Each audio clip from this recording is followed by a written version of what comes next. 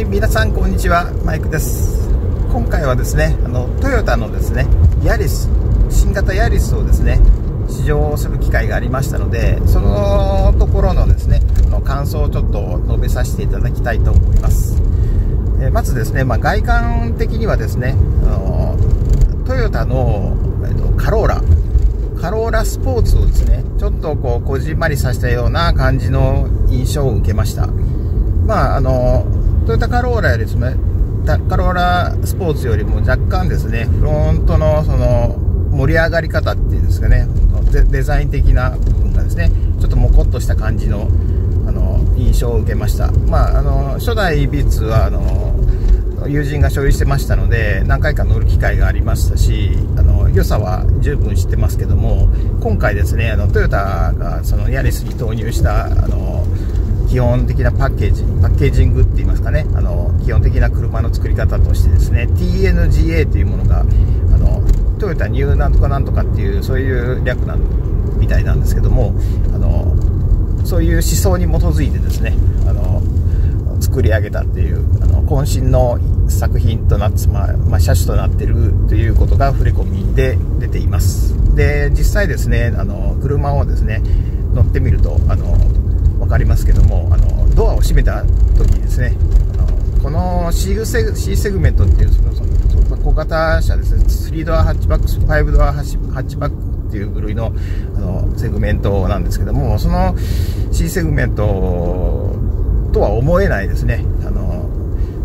重厚さといいますかねドアのしっかり感ですねどちらかというと、まあ、同一系になるんですかね。ちょっと、まあ、あの、ペランペランな、あの、ドアではなくて、こう、結構こう、あの、しっかりしたドアの開閉の、その、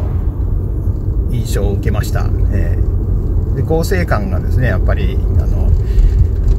優れているっていう、そういうあの思想にもと、そういう思想の、まあ、車の作り方らしいんですけどね、まあ、安全性にも特化しているし、まあ、車の合成とか、そういったものも、あの、全部見直した状態で、車を作るという、そういう、あの、思想の車作りをリアリスにも取り入れたと。まあ、そういうことでですね、あの、まあ、なんとかこう、その C セグメントのまあ市場をですね、あの、東南アジアとかっちの方ではですね、やっぱどうしてもあの鈴木自動車のあのシェアが高いもんですから、まあ、そういった狙いもあるんでしょうけども、まあ、国内でも、まあ、あの十分ですね、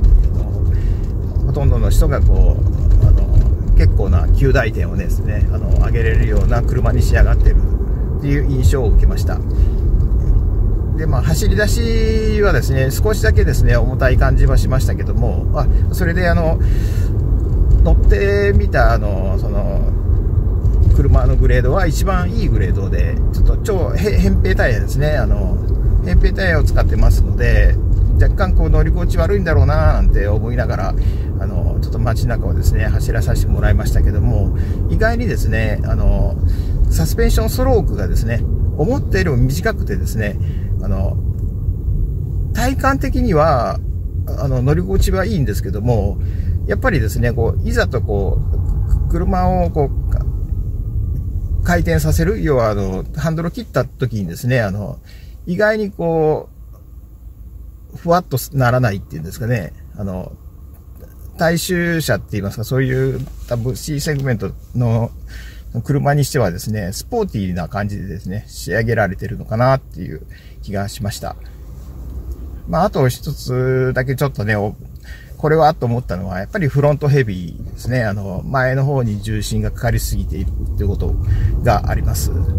まあ、そういう、まあ、車、まあ、車はですね、そのエンジンの部分がどうしても重たくなりますので、あの、それ、そこに荷重がかかるのは当然なんですけども、まあ、もうちょっとですね、あの、軽いエンジンだったら、あの、良かったかなと思います。まあ、自分がリーフ乗ってますので、そういう意味ではもう、あの、真逆の回答性ですね。あの車のあのハンドリングになりますので、まあ、それはまあ致し方ありませんけどもあの FF 特有のですね結構なこうフロントヘビーの印象を受けました、えまあ、あとはあの特にですねあのこれはちょっとまずいなってもとこ思ったところがですね、ほとんどなくてですね、あの、あのかなりの受注を受けているというふうに伺ってますので、あの、試乗された方は、あ、この車だったら、買って、買ってもいいかななんて思うような方がですね、結構多いということでですね、あの、あの販売受注ですね、あの、好調だそうです。えー、なのですね、あの、掃除で言えば結構、あの、合成感があり、それから、あの、まあ、一番最上級グレードにとってはですね、あの、安全装備が相当、あの、盛り込まれてますね、あの、プリウス並みのですね、安全装備がついております。で、値段はですね、まあ、250万超えてしまうグレードもあるんですけども、まあ、安全装備とその車の合成感ですね、それから装備されるそのタイヤサイズ、それからあとナビゲーションのですね、あのちょっと大大型のですね画面のナビゲーションとかっていうことを考えてしまうとですね、まあ、250万級の車になってしまっても致し方ないのかなっていうふうに思います。本当はですね、150万から200万円ぐらいの帯域のですね、あの価格帯域であの売ってもらえると、あの買いやすい車のね、あの部類になると思うんですけども、まあ、その最上級グレードですね、あの頼まれる方も3割ほどいるってことで、あと、あのハイブリッドを選ばれる方は約半数弱おられるってことなんですよね。あのまあ、そういうことで、どうしても価格がですね、あの上乗せされてしまうということで、まあ、価格に関してはですね、まあ、ちょっとですね、とまあ、あの一昔前の中級、中型セダン並みのですね、あの金額を出さざるを得ないような、そんなようなあの価格帯になってしまってますけども、まあ、乗ったらですね、あのこれ1台で十分なんだっていう、そういうふうな感情の印象を受けました、えー、あの車中泊するってことになってますとどうしてもですね全長が短いです。短いのでですね 4m ぐらいしかありません。あのなのでですねどうしてもですねあの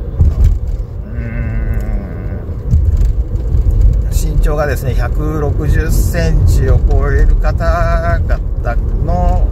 新種となりますと就寝となりますと運転席、助手席前に倒してもですね、ちょっと辛いものがあるのかなっていう。なので、まあ、最悪車中泊する場合には、運転席、助手席をあの後ろに倒してですね、あの普通にですね、あのまあ、寝転ぶみたいな感じ感じの車中泊になってしまうのかなっていう印象があります。あのコンパネを引いてですね、あのフラットにするっていう手もあるんですけど、やっぱり全長が短いだけあってですね、どうしてもあの足を伸ばして、寝れるというようなあの車ではないということをですね、一言付け加えていたださせていただきたいと思います。あのまあ、車中泊ファンの私にとってはですね、あのその辺もですね、あのあの見極めの一つになりますので、あのそうでないよ、まあ、車中泊なんかほとんどしないよっていう方でしたら、もう全然ありの車だと思いますので、あの一度ですね、あの試乗とかも気軽にできますので、あの一度乗って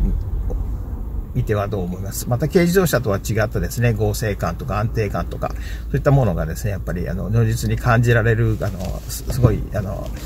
よくできた車となっております。まあ、そんなようなね、あの、あの印象を受けました。あの、あとですね、スイッチ類もですね、うまく、あの、配列が考えられてましてね、あの、トヨタなりの、あの、ノウハウでですね、あの、スイッチが配置されておりましたので、あの、結構操作性も良かったってことも付け加えておきます。まあ、こんな感じでヤリスを試乗した感想がですね、ちょっとまあ、短くまとめてしまったんですけども、まあ、実際乗った感じがですね、どうだったかってことを、ちょっとでも、あの、皆さんに伝えれたらと思いまして、動画にさせていただきました。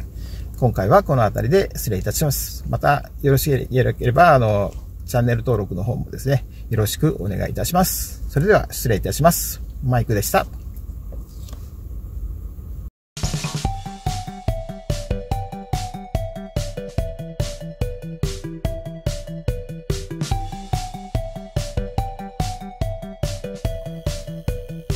いて。